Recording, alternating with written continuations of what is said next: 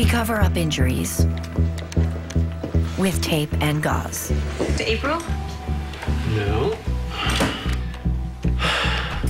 Why? Nothing. Um, I just wanted to see how you guys were. Love a good T-bone. Yeah. Yes. That the kid Alex Petrus about? Yep. Triple organ transplant, lungs, liver, pancreas.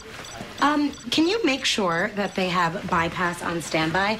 And um,